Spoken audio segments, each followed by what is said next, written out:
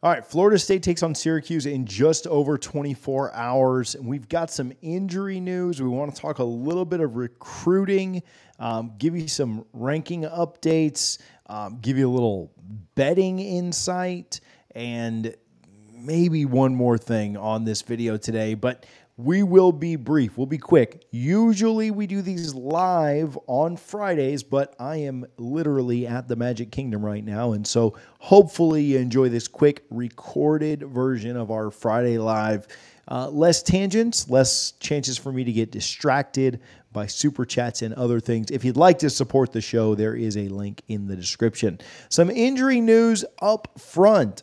I've heard mixed things on a couple of guys. Johnny Wilson is one that I wouldn't necessarily expect to see get a ton of action, if any at all, this weekend. Um, I know he didn't practice at least.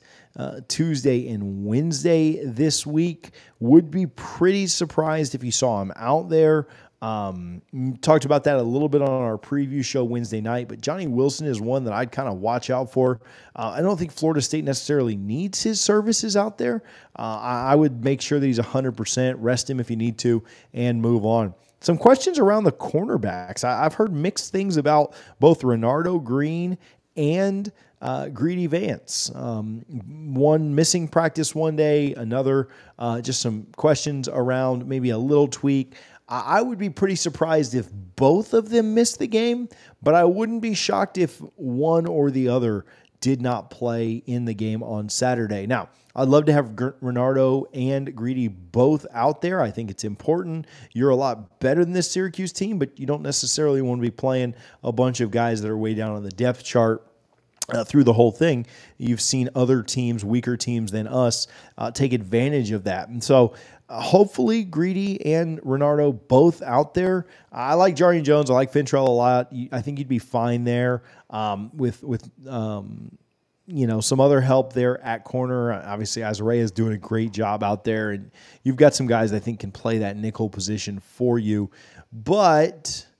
You'd like to have Greedy out there if you could. And, and obviously, Renardo's probably been one of your better corners, if not your best corner so far this year. So something to monitor. I like where the offensive line's at. I think Dent's good. I, I think there's a lot of positives there, uh, but wide receiver, cornerback, something to maybe monitor, something to maybe look at.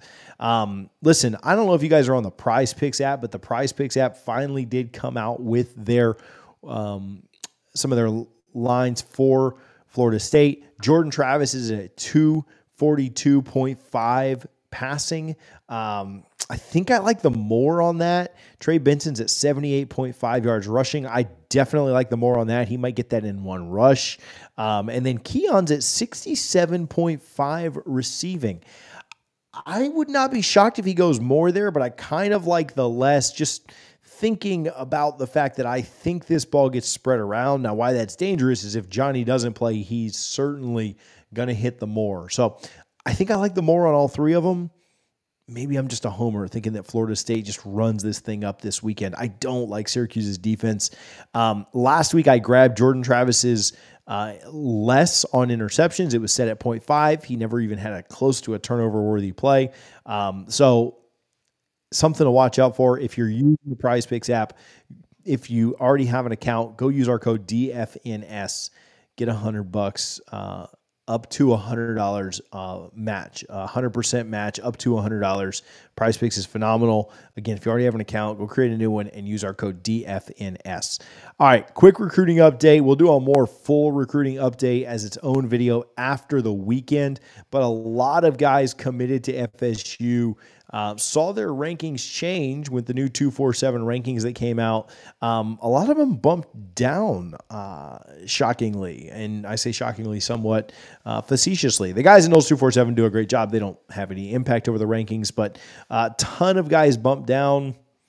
Not really sure what that's all about. But one piece of good news is I did see Luke Kromenhoek officially a five star on the On Three industry rankings. He's phenomenal. So it's great to see that. Um, sent him a message tonight. He was super gracious and super thankful for uh, being moved up. Uh, at the end of the day, I don't think he cares too much about the specific ranking, but he's put a lot of hard work in. Shout out to Mike Norvell on the eval there.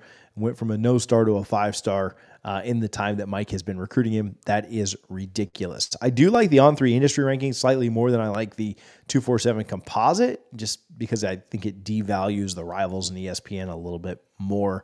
Um, but I guess that's just kind of preference. So whatever you like there more. But yeah, on three industry, five star Luke Kromenhoek.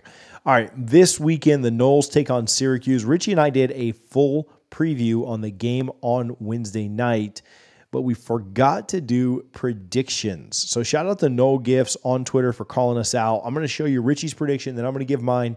But just before that, there is so much smoke right now around LJ McCray, Jeremiah Smith, and others that the Noles are in on. Those are two top 10 players according to On3.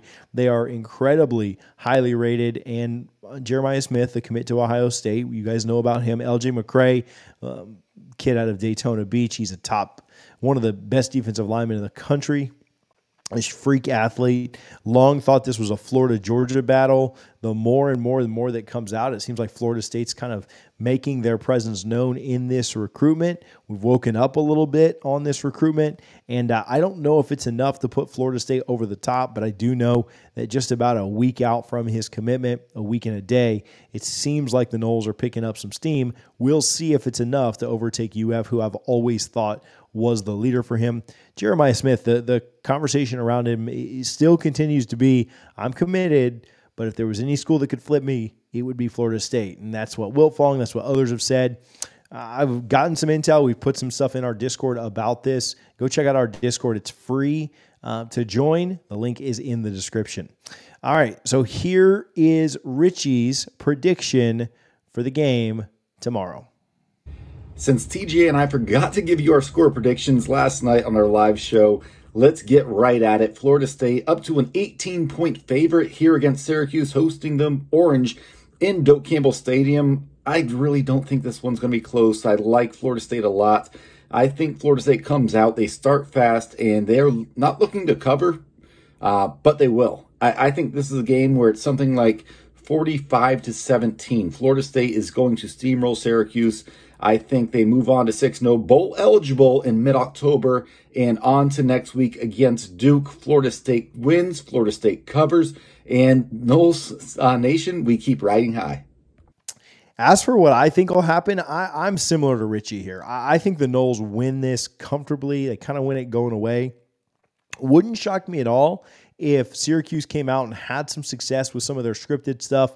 Um, wouldn't shock me at all if this is like a 7 7 game or a 10 7 game at the end of the first quarter. I'm not saying the Noles score you know 20 points in the quarter to, to be blowing them out 21 nothing or anything like that. Um, Shrader's obviously good with his legs, good running the ball. Would not, again, surprise me at all if Florida State gives up a touchdown early, settles in, goes to the half up like – I don't know, 24 to 10, 27 to 10, somewhere in there. Maybe just 28 to 10. We'll, we'll take a, a field goal away. But I think they go into the half pretty comfortable and then they kind of salt it away from there. Florida State maybe opens up the half with a touchdown, gets a stop, scores again, and your score at that point is like 42 to 10. You get some of the other guys out, you get some young guys in, get them some rotation, some reps, you get them kind of going. I think Florida State could I'm going to predict just under the 50, but I'm going to go. Sorry, Ryan Fitzgerald, my guy, um, for not picking any field goals here, but I'm going to go 49 to 17. I know that's pretty close to Richie's score. I think they get a garbage time. You know what? I'll even I'll even change that up. I'll say 49 to 20. Um, they get a garbage time score or two to make it seem a little bit better, but the Noles, it's never in question. It's never in doubt. The Noles are by far the better team.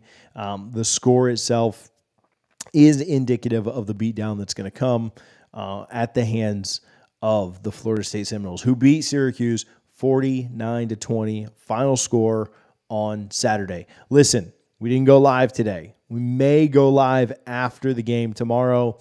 Um, We'll see though. Don't take any, not a 100% guarantee on that one. I want to watch some of the other games that are going on. Maybe we'll jump on for 10, 15 minutes, chat about it, chat about getting to 6 and 0, bowl eligible. That's a fun one. Florida State didn't do that until what, week nine last year. Um, didn't do it the year before that at all. So cool to uh, cool to try and get that under our belts tomorrow. Um, noon kickoff, ABC, Florida State, Syracuse. Thank you guys for tuning in. Again, sorry we weren't live today at the Magic Kingdom with the kids. So hopefully this sufficed. Uh, I'm sure you guys will be blowing me up in the Discord about me taking a day off, but hopefully you enjoyed this. Hopefully you support the show or join the Discord or Patreon or whatever. We'd love to interact with you more than just here on YouTube, but we appreciate you guys. We thank you for all the support. We'll talk to you soon. Go Noles.